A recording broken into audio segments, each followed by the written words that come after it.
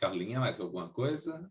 Aí? Sim. Ou daqui a Ah, pouco eu chamo você. Gabriela está fazendo uma pergunta Gabriela. aqui. Elogia bastante a professora e pergunta assim: ela queria saber, professora, se a, a sua opinião sobre a divergência que existe na literatura em relação à acurácia eh, dos testes respiratórios em alguns estudos e a necessidade de, às vezes, e a indicação, eles estão, é, a evidência de que talvez exista uma importância em relação à definição do tempo do trânsito colônico para a interpretação desses estudos. O que, que a senhora pensa? Acho que o Maurício também, Zu. Hum? Maurício quer falar, Maurício? Você faz os testes lá. A gente tem, eu também trabalho muito com teste respiratório, tempo de trânsito há muitos anos também. Sabemos que não são assim de acurácia tão alta, é, realmente eles deixam a desejar, mas todos os outros testes que seriam, por exemplo, falando aí dos respiratórios, do H2 expirado, o, a, a biópsia lá, né, a coleta do jejum lá de material é muito complexa, não existe na prática. Então, acho que é o bom senso. Eu e Maurício temos muita troca de pacientes, assim, temos em caminho muito para ele fazer, eh, e a paciente às vezes fala, não, pode deixar que essa aqui teve sintoma, enfim, é o bom senso, é a análise muito individualizada até do resultado. Sabemos que até 12 a 14% não produz H2, então vai ser um falso negativo.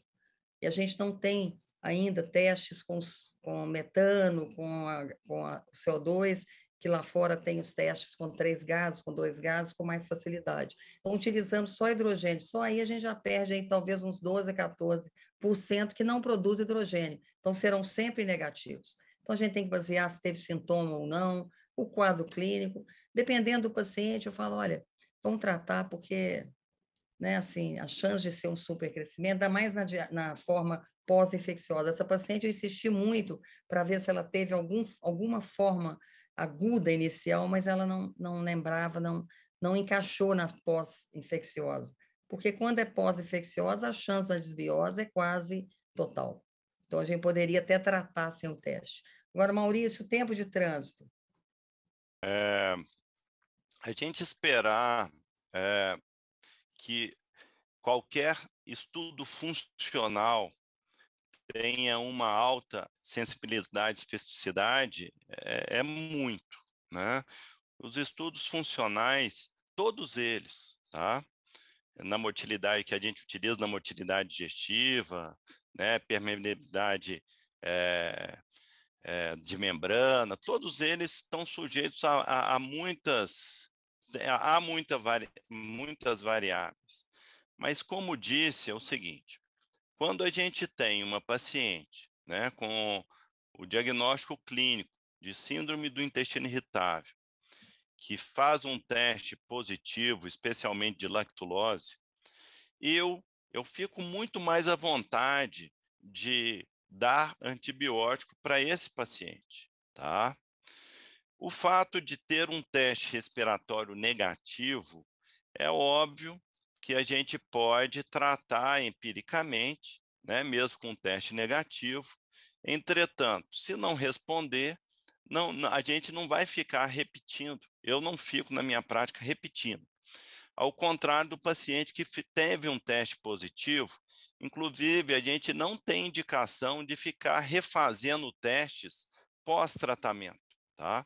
E muitas vezes esses testes continuam positivos e a paciente respondeu, tá? Respondeu ao antibiótico. O que é mais interessante é você saber é, selecionar, isso serve, né, tanto para o probiótico quanto para o antibiótico, o antibiótico que mais se adequa àquele perfil de paciente. Né? Então, a gente sabe que o tipo de desbiose associada à constipação é mais de anaeróbio. Então, muitas vezes responde melhor a metronidazol e alguns outros antibióticos. Enquanto a forma diarreica, como no nosso caso aqui, a possibilidade de resposta rifaximina é muito grande. Né? É, em relação ao tempo de trânsito, isso aí é tudo empírico, tá? E a gente considera um teste positivo para é, supercrescimento bacteriano com lactulose ou glicose até 90 minutos, porque a gente considera que a partir de 90 minutos, é, aquele substrato já chegou no cólon, né? É lógico que existem falsos positivos por conta de trânsito rápido, várias coisas que podem interferir no resultado, mas é como eu disse, quando você tem um resultado positivo, a possibilidade de resposta a antibiótico, ele aumenta, tá? Então, é, existe um valor prognóstico nisso aí, tá? E esses testes funcionais, gente, a maioria das definições, os consensos, são baseados na opinião de especialistas, tá? Muitas vezes tem pouca ciência e muita prática de pessoas que lidam com isso. E a gente tem que respeitar isso, né?